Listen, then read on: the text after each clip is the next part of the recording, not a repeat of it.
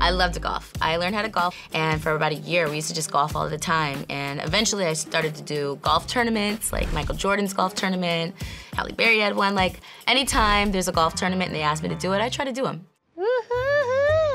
Here we go, riding dirty. Who's riding dirty?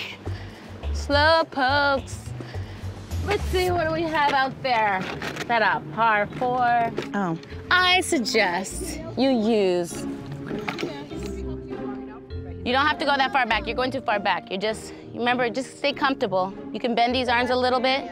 Perfect form is loosen up. Twerk it out.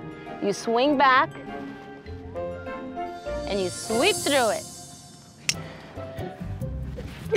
Okay.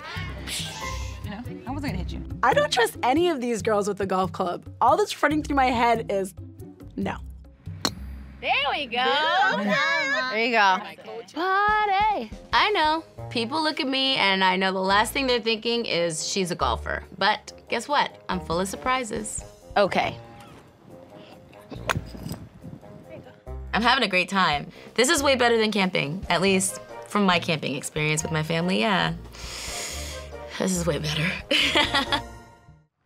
Oh, see, I didn't set mine up right. Got these. Yeah, champ. Richard's gonna come. Today? Meet, yes, he's gonna meet us in the course. And he wants, he, I think he's gonna get on his knees. Shut up. Today? Yeah. Richard had the plan of renewing their vows. And I thought that was so lovely, and he wanted to do it while we were all together.